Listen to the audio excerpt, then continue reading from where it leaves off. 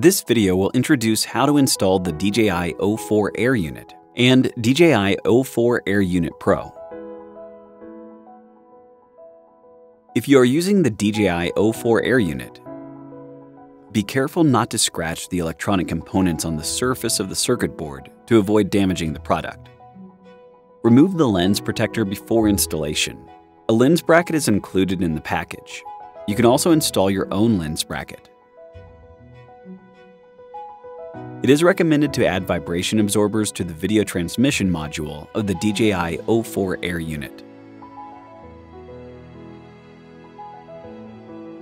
When using DJI O4 Air unit, make sure the power input range is 3.7 to 13.2 volts.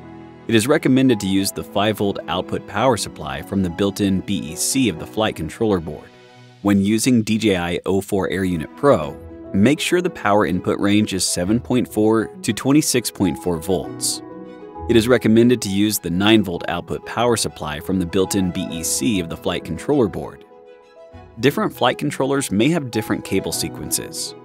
It is recommended to check the cable sequence before connection. Make sure to follow the wiring sequence instructions when connecting the 3-in-1 cable to your flight controller properly.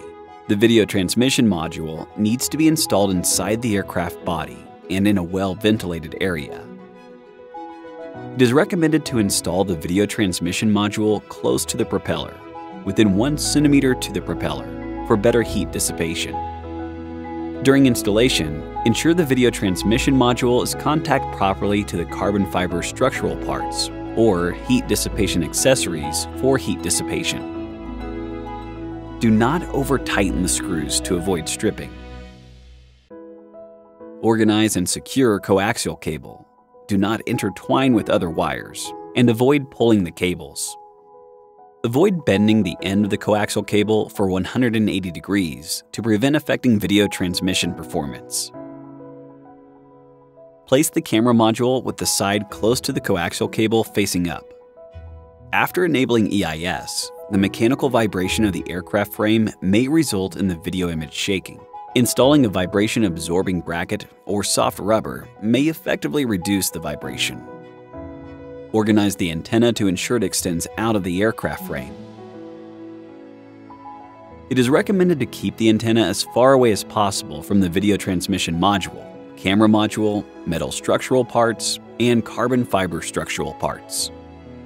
It is recommended to position the two antennas of the DJI O4 Air Unit Pro at a 90 degree angle for better video transmission signal reception. You can prepare a micro SD card and install it into the DJI O4 Air Unit Pro video transmission module.